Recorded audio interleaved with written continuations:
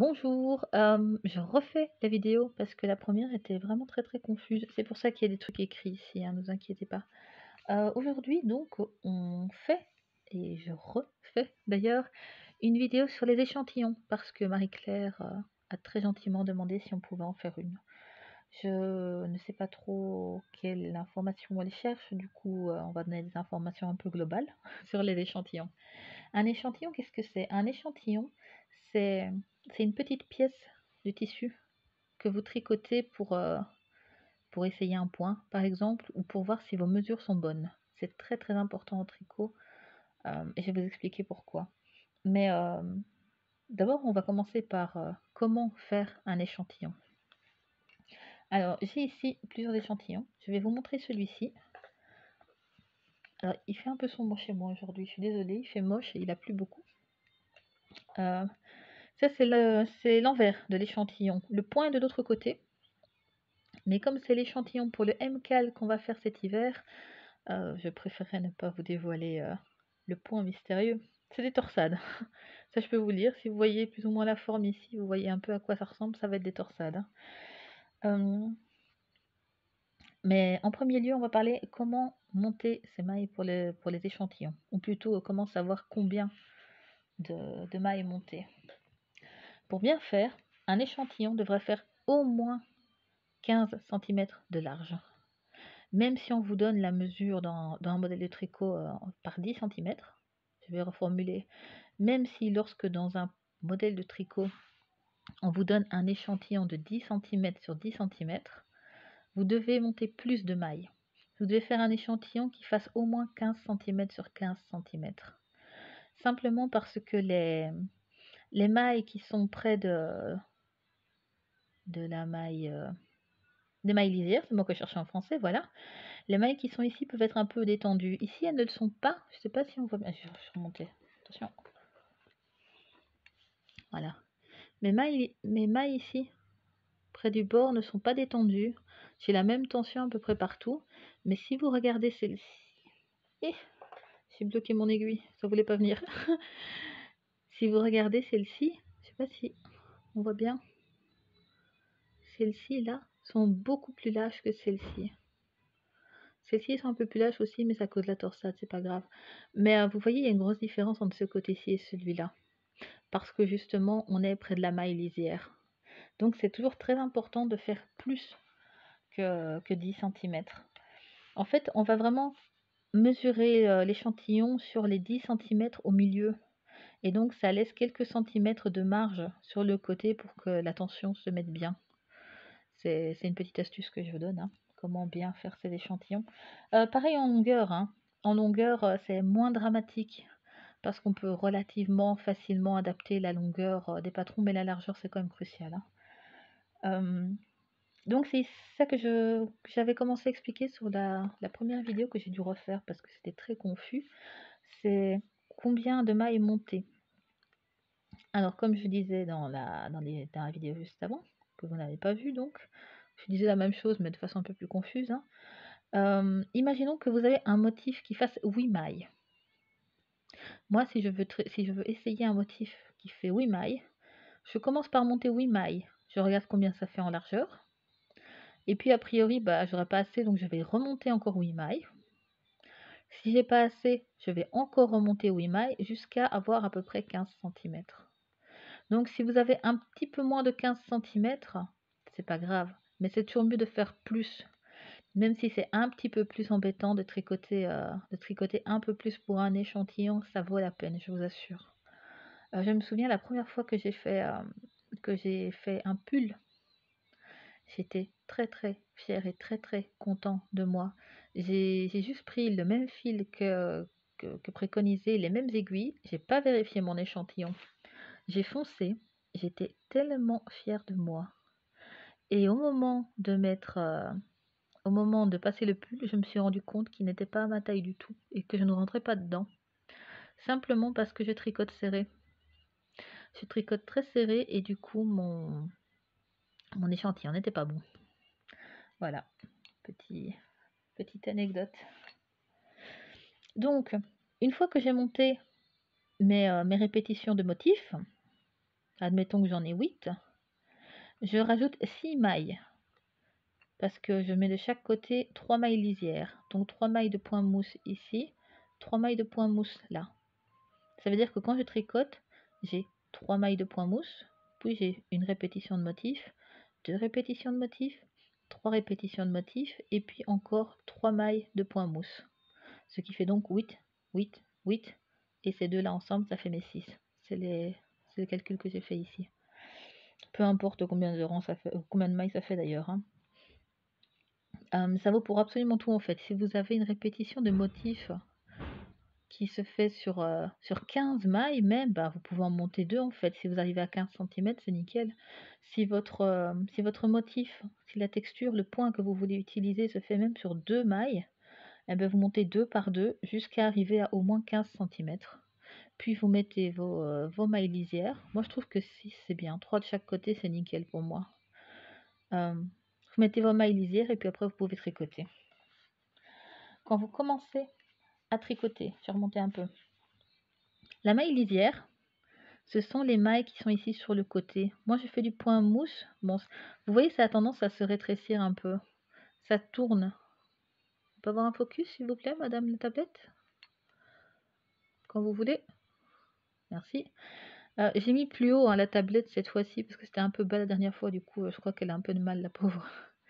Vous voyez, ça fait des, euh, des courbes. La ligne ici n'est pas droite et ici elle n'est pas tout à fait droite non plus. C'est à cause du, point mousse. Mais c'est pas grave parce que quand vous allez laver votre échantillon, que vous allez l'épingler, le bloquer pour qu'il sèche bien droit, il va se remettre bien.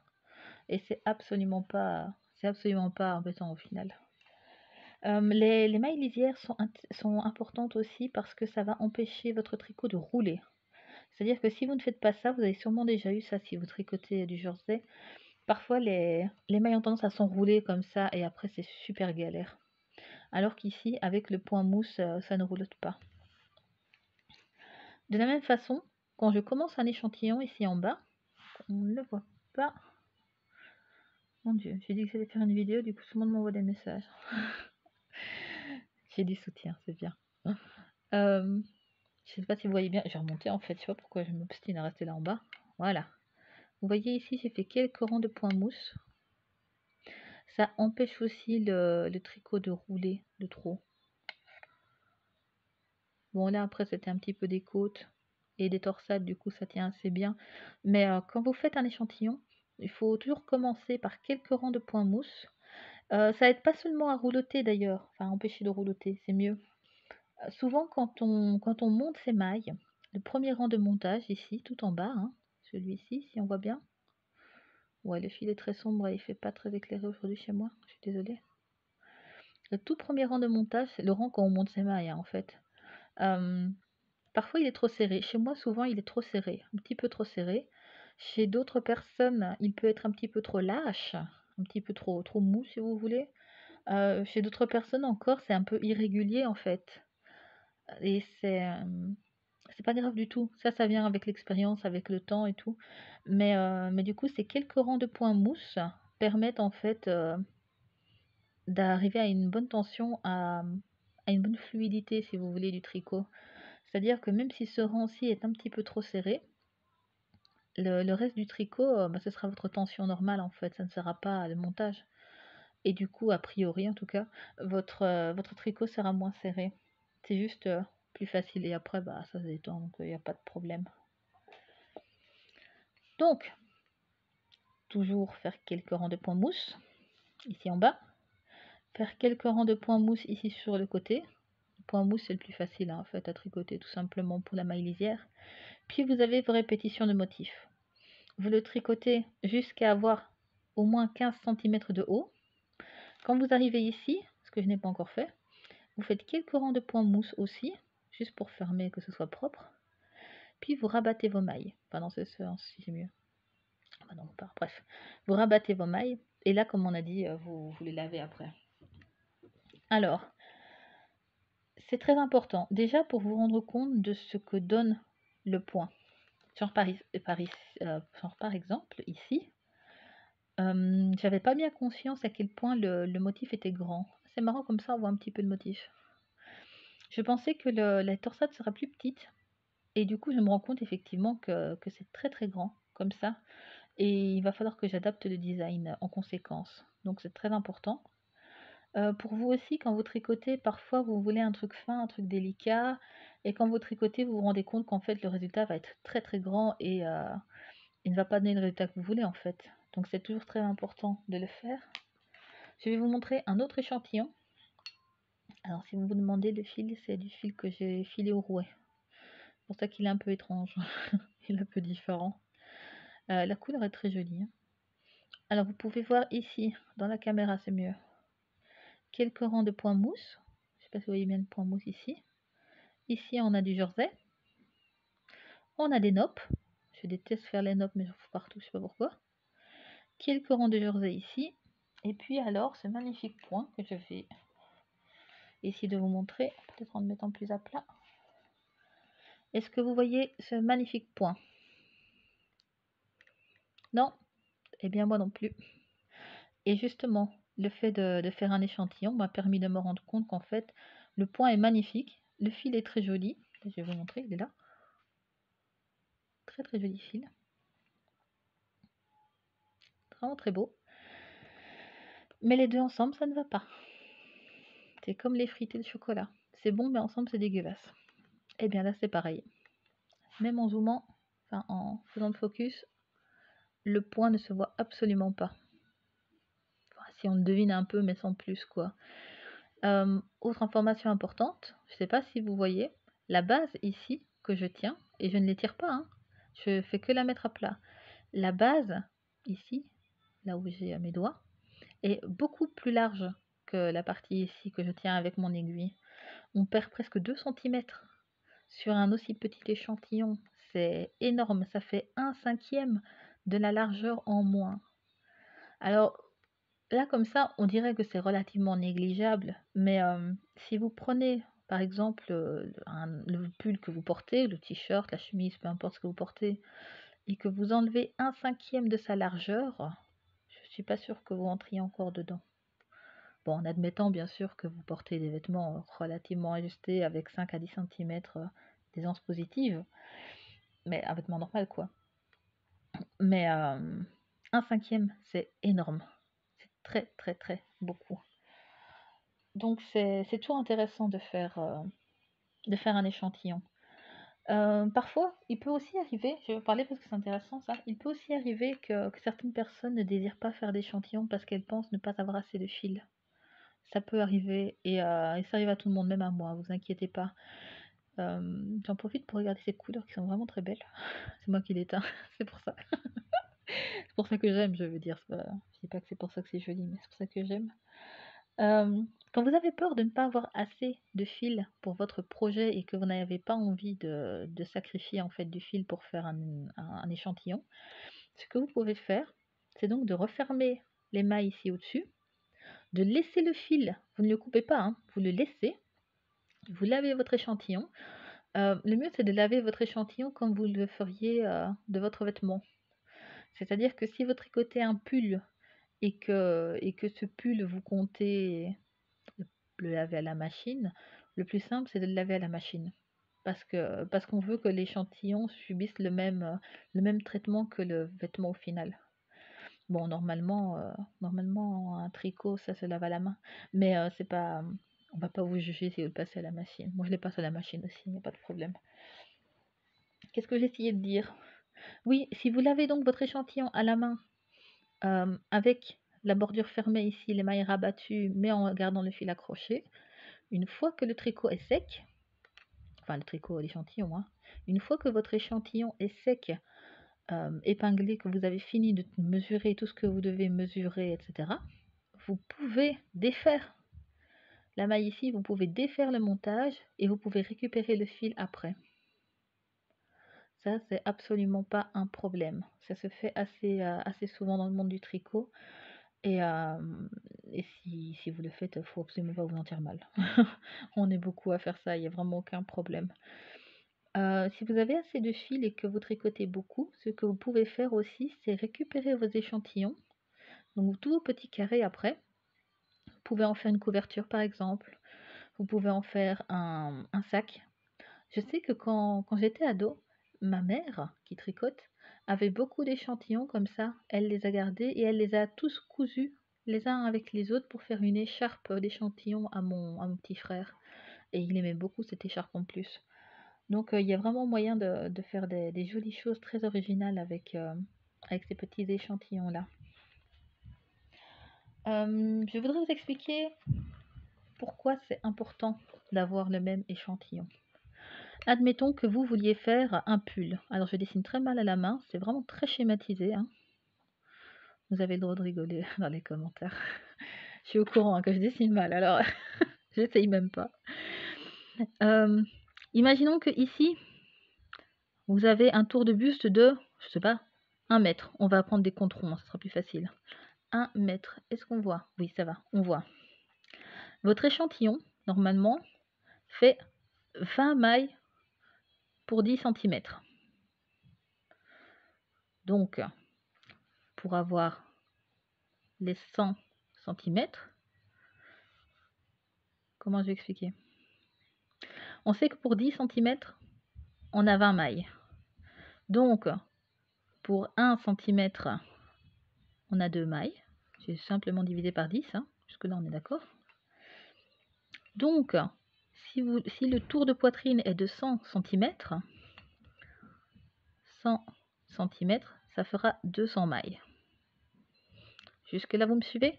J'espère? Oui? Tout va bien? Bon. En calculant votre échantillon, vous vous rendez compte que votre échantillon fait 15 mailles pour 10 cm, ça veut dire que vous aurez une maille et demie, pourquoi j'ai fait un 5 Je ne sais, 1, 2, je pas une maille et demie pour 1 cm. Ce qui veut dire que quand vous aurez suivi toutes les instructions, quand vous serez censé avoir 100 cm de tour de poitrine, au lieu de 200 mailles, vous en aurez 150. Et 150, ça fait une grosse différence. Ça fait ben, 50 cm. Ça fait beaucoup, beaucoup moins. Alors si vous... Pareil pour la longueur d'ailleurs. Hein. Si, si, par exemple, au lieu d'avoir 20 mailles, vous avez 21 mailles, c'est pas grave. C'est totalement correct. Il n'y a pas de souci avec ça. Si vous avez 19 mailles, c'est pas grave, ça va se détendre un peu, c'est correct. Si vous avez 18 mailles, c'est déjà un petit peu plus embêtant parce que vous allez avoir 180 mailles au lieu de 200 pour 100 mètres, euh, pour 100 cm. En fait, moi je vous dirais essayez d'avoir le même échantillon plus une maille éventuellement ou moins une maille. Donc si on vous donne un échantillon de 20 mailles, on voit avec ma main, oui. Si, on, vous donne donc un échantillon de 20 mailles pour 10 cm, si vous avez 19 mailles, c'est bon. Si vous avez 20 mailles, c'est bon. Si vous avez 21 mailles, c'est bon. Si ce n'est pas bon, si ce n'est pas si c'est pas si c'est pas une de ces trois mesures là, alors c'est peut-être mieux d'essayer d'arranger. Et là, on va parler de la mesure d'un échantillon. Un échantillon, donc, c'est un carré, ou parfois un rectangle. Moi, c'est un rectangle ici parce que parce que c'est un peu long. Alors, on va vous donner l'échantillon en longueur, qui est sur 10 cm, et en hauteur. On va reprendre le même exemple qu'ici, hein, on est d'accord. Mettons que vous êtes censé avoir 20 mailles pour 10 cm. Quand vous allez calculer votre, euh, votre échantillon, que vous allez le mesurer, si en comptant, on va faire autrement, je, vais, je me rends compte que je vais un peu vite pour vous. Euh, ça fait 20 mailles. Ça veut dire donc que sur mon échantillon, j'ai 20 mailles comme ça. je n'ai pas compté, il n'y en a pas 20. Hein. Les petits V, ce sont les mailles. Hein. Ça veut dire que vous devez en avoir 20. Dans cet exemple-ci, vous n'avez que 15 mailles pour 10 cm. Ça veut dire que votre petit rectangle, vous avez 15 mailles. Comme vous êtes censé en avoir 20, ça veut dire qu'il va y en avoir 5 en plus qui ne vont pas rentrer dans les 10 cm. Vous voyez? Il y en a 5 là qui ne rentrent pas. Parce que lieu d'avoir 20, vous avez 15. Ça veut dire donc que les mailles sont trop grosses. Parce que quand vous en faites 20, vous débordez du cadre du 10 cm. C'est une, une, notion très simple en fait, mais euh, pas spécialement facile à expliquer. Inversement, si vous aviez 25 mailles pour 10 cm, ça aurait voulu dire que dans votre échantillon, qui n'est plus rectangle, qui n'est plus carré dans mon exemple, mais c'est pas grave, ça voudrait dire que vous auriez beaucoup plus de mailles. Parce que si vous comptez que 20 mailles, comme vous êtes censé en avoir, voilà, vous n'arrivez pas jusqu'à la fin du cadre des 10 cm. Est-ce que vous comprenez bien? Donc, si vous avez moins de mailles, j'essaie d'écrire en regardant le retour caméra, c'est difficile. moins de mailles euh, pour 10 cm, ça veut dire que vos mailles sont trop larges. Ça veut dire que les 20 mailles, elles dépassent du cadre. Si vous avez plus de mailles pour 10 cm, ça veut dire que le nombre donné n'arrive pas à couvrir les, euh, les 10 cm, puisqu'il vous faut plus de mailles pour arriver à 10 cm. Alors, dans ces cas-là, si euh, si vous n'avez pas assez de mailles. Pas assez de mailles. Donc ici, on est sur les 15. Hein. J'ai marqué ici 15 et là, c'est 25. Si vous n'avez pas assez de mailles dans votre échantillon, les mailles sont trop grandes. Donc, soit vous pouvez prendre des aiguilles plus petites pour que les mailles soient plus petites soit vous pouvez utiliser un fil plus fin. Et quand je veux dire un fil plus fin, je peux montrer? Je vais reprendre mon col ici. Ça, c'est du fil DK. C'est la taille, on appelle ça du fil DK, c'est 400 mètres, euh, non, pas du tout. 240 mètres, c'est mieux pour 100 grammes. Celui-ci, c'est du fil fingering, c'est 400 mètres pour 100 grammes. Vous voyez la différence de fil? Il y en a un qui est beaucoup plus épais que l'autre. Eh bien, si vous n'avez pas assez de mailles, si, euh, les mailles sont, trop grosses, en fait, pour rentrer dans les cadres de 10 cm, au lieu de prendre un fil épais comme ça, passez sur un fil plus fin. Un fil plus fin des aiguilles plus petites peuvent, euh, peuvent résoudre le problème.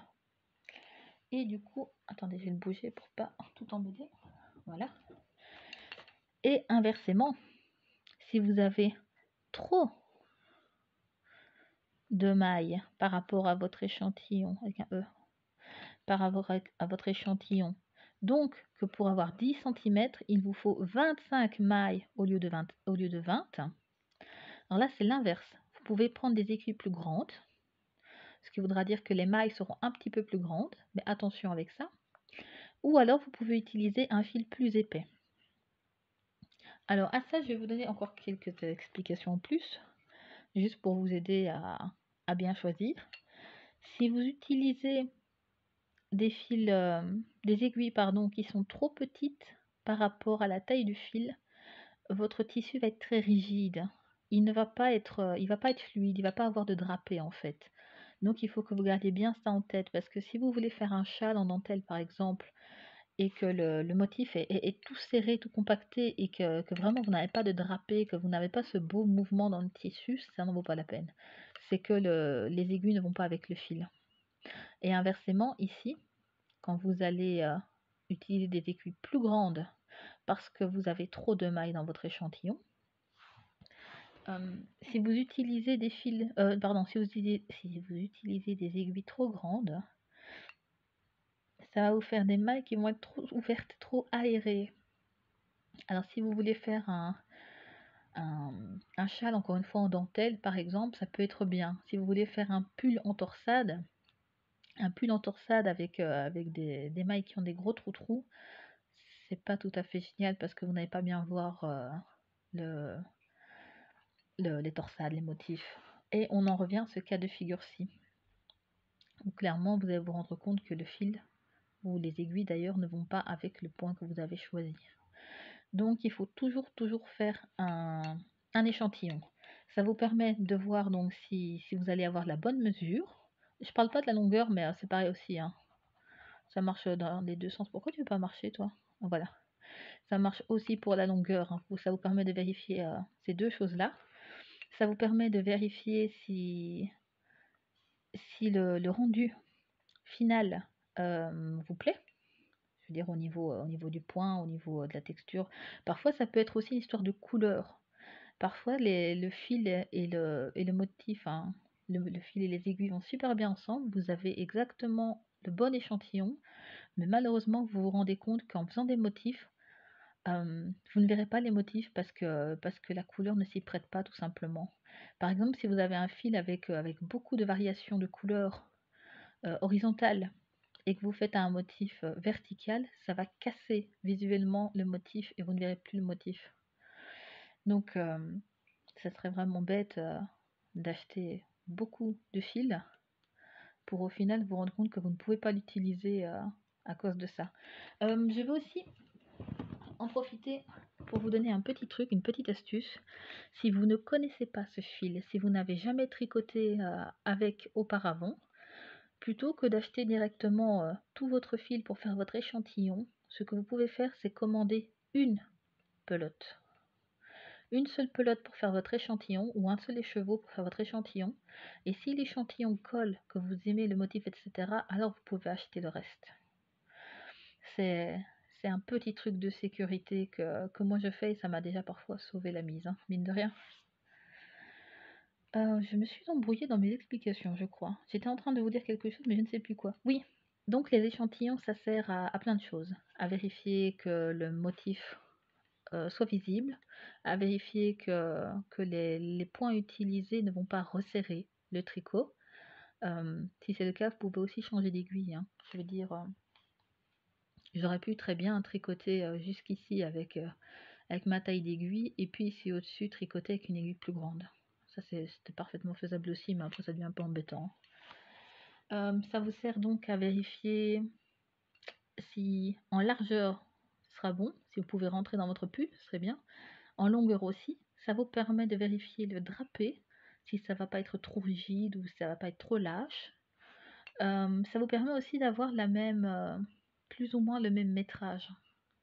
Parce que forcément, s'il vous faut plus de mailles pour arriver à 10 cm, vous allez utiliser plus de fils. Et donc ça va vous coûter plus cher. Et c'est embêtant.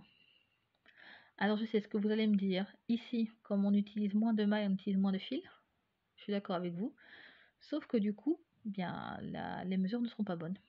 Ce sera beaucoup trop grand et vous ne rentrerez pas dans votre truc. Dans votre pull. Ou plutôt vous rentrerez deux fois dedans. Bon, après, il y a des gens qui aiment, c'est pas le sujet. Mais euh, en partant du principe que c'est pas le but, en tout cas, voilà. Euh, ça vous permet aussi de vérifier si, si la maille gonfle, comment la maille, euh, comment le fil réagit. Si, par exemple, si vous faites du jacquard, ça vous permet de vérifier si les fils derrière vont bien s'accrocher entre eux derrière, si s'il n'y a pas de grands écarts au niveau du changement de couleur, par exemple, c'est très important aussi. Ça vous permet de vérifier si le fil ne va pas dégorger. Oui, parfois ça peut déteindre aussi, c'est important de savoir. ça vous permet de voir si le fil ne va pas feutrer et, et du coup diminuer. Ça vous permet d'avoir énormément d'informations pour réussir votre projet. Et là, je parle seulement du côté, entre guillemets, utilisateur.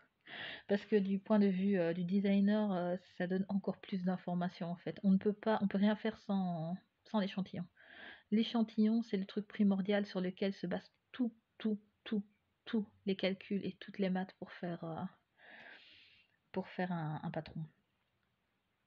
Euh, je réfléchis, je crois que j'ai fait le tour de ce que je voulais vous dire au niveau euh, de l'échantillon. Ça fait déjà une demi-heure, c'est beaucoup, beaucoup, beaucoup d'informations et je suis désolée.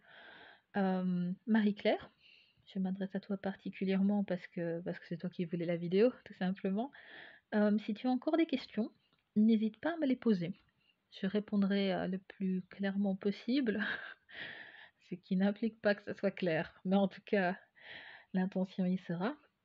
Et s'il faut que je précise encore euh, d'autres choses, si quelque chose est encore flou, si je dois réexpliquer, si c'est pas clair, euh, n'importe quoi, n'hésitez pas à le dire. Et puis je peux même refaire une autre vidéo en plus pour, pour expliquer ici le faux, c'est vraiment pas un problème. Parce que quand je vous fais des petites, euh, ou des pas petites d'ailleurs, vidéos comme ça, mon but c'est vraiment de vous expliquer en fait les choses. Euh, c'est-à-dire que je gagne absolument euh, zéro argent là-dessus. c'est, du temps que je, que, bah, que je mets en fait pour, pour vous apprendre à tricoter ou à mieux tricoter.